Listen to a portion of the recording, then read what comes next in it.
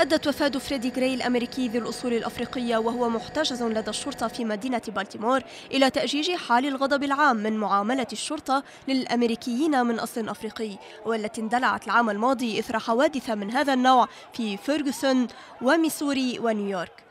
الحوادث تتجدد اليوم في مدينة بالتيمور في ولاية ماريلاند الأمريكية حيث أدت الاحتجاجات إلى إصابة سبعة من ضباط الشرطة حين ألقى محتجون حجارة عليهم وأحرقوا سيارات دورية عقب جنازة كري قبل كل شيء هذه ليست حربا. نحن نريد السلام لا نبتغي حربا ولكننا نريد حقوقنا. غير أن الاحتجاجات تخللتها أعمال شغب واسعة. لم يسلم منها رجال الإعلام. كنت أصور بعضا من المشاهد الحية من الاشتباكات وأعمال النهب في المدينة فألقوا القبض علي وأبرحوني ضربا. الشرطة الأمريكية اعتقلت 12 شخصا إثر أعمال العنف بعدما تظاهر أكثر من ألف ساروا في شوارع بالتيمور في واحدة من أكبر الاحتجاجات التي تشهدها المدينة وأعلنت حالة الطوارئ عقب أحداث الشغب.